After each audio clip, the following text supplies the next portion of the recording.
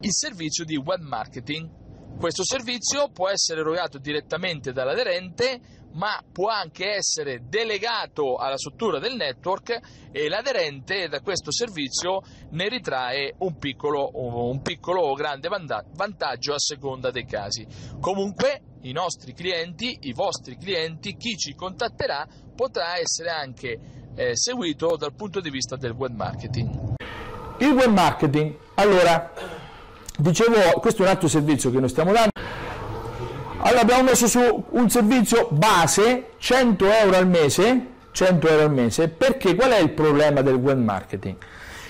Che a casa o comunque come amici c'è sempre qualcuno che sa fare, che sa eh, diciamo così, smanettare, smanettare su internet con i siti, eh, c'ha la web agency, per cui se viene da noi dobbiamo mettere, la web agency pensa di fare web marketing, invece fa la costruzione del sito, che è tutta un'altra cosa. Eh? Anche qui abbiamo fatto un video che, eh, ieri che spiega bene che cos'è il web marketing. Il web marketing è tutto, meno che il sito, meno che Facebook, cioè è soltanto produzione di contenuti, poi ne parleremo anche dopo.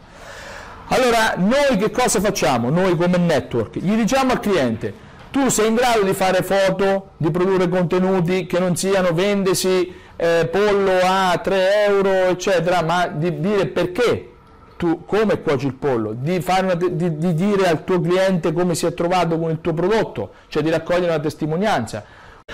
Quello che serve è una strategia, cioè qualcuno che gli dia la costruzione proprio sulla, di fare proprio un disegno strategico di come costruire il suo sistema di web marketing, quindi il database, la pagina Facebook, LinkedIn, Facebook, il, il sito, la tipologia di comunicazione, quindi la costruzione della strategia e soprattutto il controllo, la misurazione di quello che fa. Cioè che effetto ha avuto l'attività di web marketing? Come posso misurarla? Perché se tu non ti arrivano i contatti pensi che non serve a niente. Se non ti arriva un contatto da, da internet dici ma io che, che ce l'ho a fare? Invece se tu dici guarda che il tuo sito aveva prima una, una, una, un tempo di visualizzazione di 30 secondi, adesso con queste modifiche che abbiamo fatto la visualizzazione è 4 minuti che vuol dire che la gente che entra invece di starci 30 secondi sta 4 minuti, sarà diverso. Poi magari questo qui nel tempo ci tornerà un'altra volta.